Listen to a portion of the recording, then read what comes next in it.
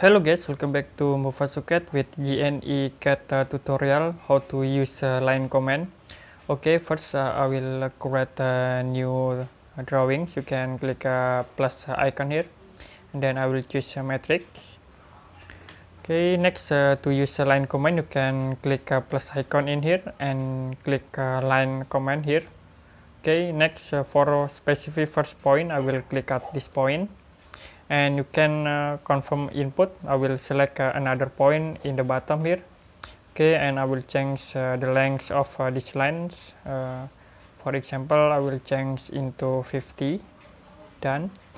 And you can uh, zoom in. I will click at this right.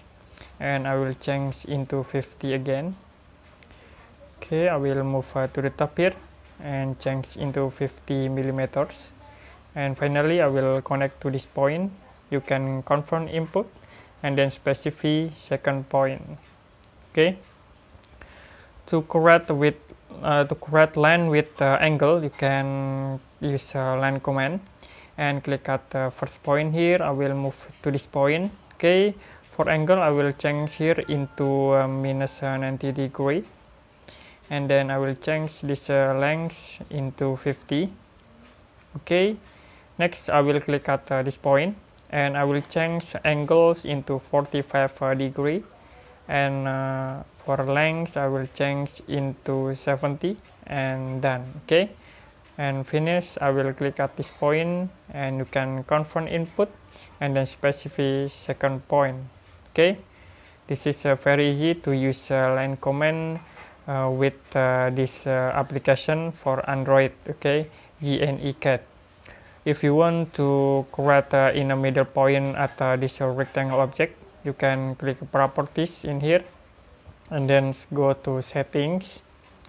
Okay next you can click object snaps. Don't forget to active uh, mate point here. Okay i will close. And then you can use line command.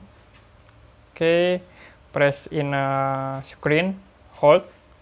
And you can see there is uh, new uh, preview I will move into this uh, middle point and move in here.